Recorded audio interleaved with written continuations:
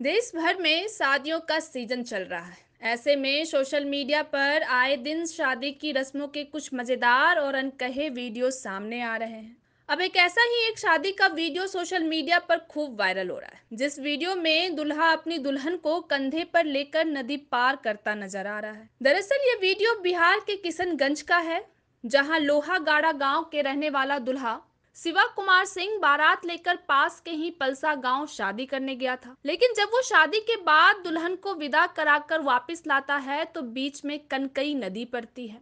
आधी नदी तो दुल्हन सहित सारे बाराती नाव से पार कर लेते हैं, लेकिन पलसा घाट पर के बाद बाकी नदी उन्हें पैदल ही पार करनी थी। सब तो पैदल नदी को पार करने के लिए तैयार हो गए, लेकिन नई नवेली दुल्हन नदी पार करने से घबरा गई। ऐसा देख दुल्हे शिवा ने शादी के वचनों को निभाते हुए अपनी दुल्हन को कंधे पर उठा लिया और नदी पार करने लगा। यह देख उसके साथ आए सारे बाराती खुशी से चिल्लाने लगे। साथ ही किसी ने यह वाक्य फ़ोन पर रिकॉर्ड कर लिया, जो इंटरनेट पर जमकर वायरल हो रहा है। वहीं एक यूज़र ने इस वीडियो को ट्वीट करते हुए लिखा कि दिल वाले दुल्हनिया ले जाएँगे।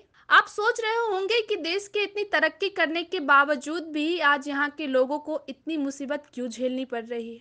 तो इसके पीछे की वजह यह है कि बिहार का पलसा गाँव भारत का सीमावर्ती गाँव है। यानी कि इस गाँव के बाद नेपाल देश शुरू हो जाता है। जिस वजह से अब तक इस नदी पर पुल नहीं बन पाया है। जिसके चलते लोगों को नदी पार करने के लिए छह महीने नाव और बाकी छह महीने चचरी पुल का सहारा लेना पड़ता है। बताते चले कि इससे पहले भी बिहार राज्य में इस तरह का वीडियो सामने आ चुका है। उस दौरान जून के महीने में भारी बारिश होने से बाढ़ आ गई थी, जिसके चलते दुल्हन का घर भी बाढ़ के पानी से घिर गया था। ऐसी स्थिति में दुल्हा नाव में अपनी बारात लेकर दुल्हन के घर पहुँचा था।